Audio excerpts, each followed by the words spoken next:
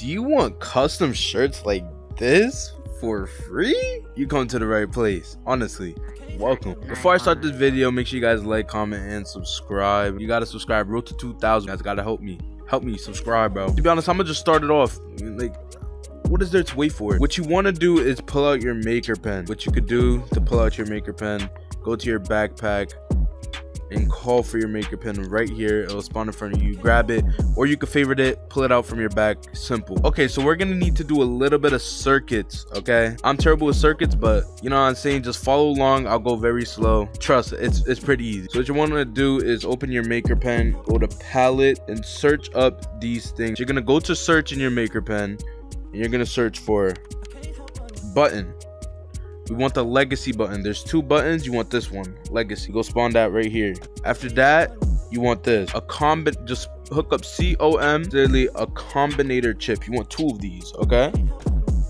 Boom, boom. Just spawn two. Simple. Damn, the next chip, I forgot the name. Hold on. I'll just find it. A variable chip. My fault. I forgot the name for a second put that right under there. Then you need a respawn circle thingy. Hook up object respawner boom right here.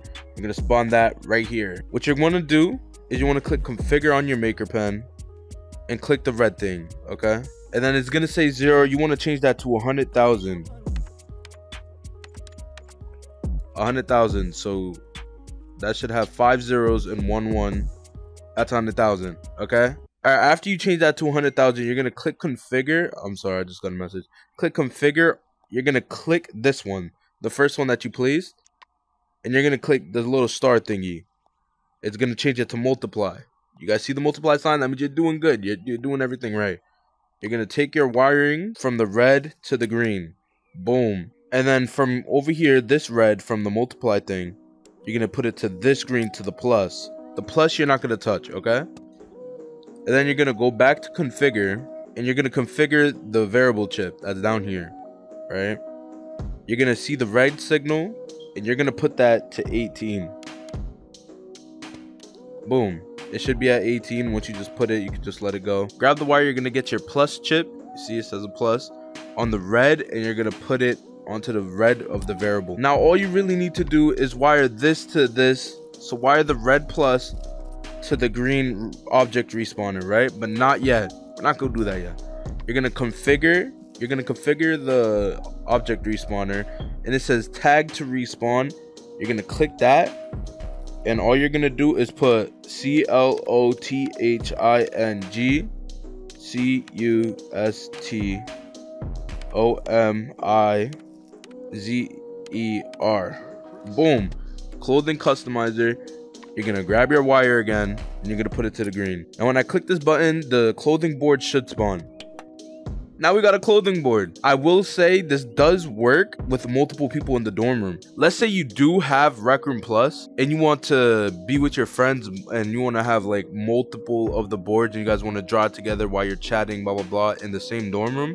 This could also help with that. You just make this simply and you could have as much people spawn it in. So I'm going to be joining on my alt account. I'm going to join on my phone to also prove to you that it works even if you don't have Rec Plus.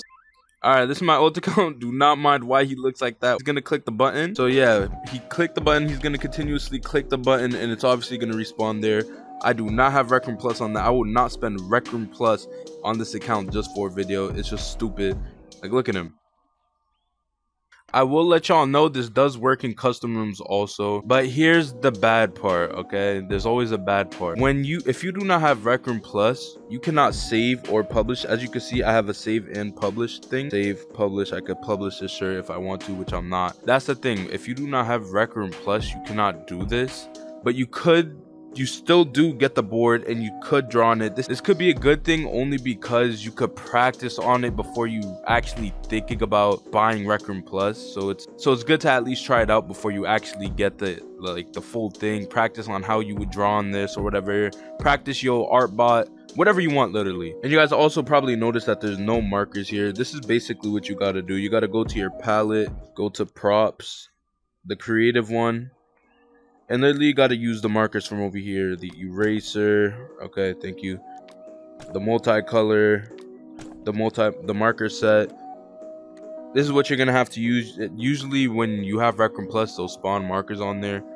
Not on in this situation, you would have to spawn in your own markers. Practice before you buy it. That would be very nice. And I hope you guys like, comment, and subscribe. And goodbye.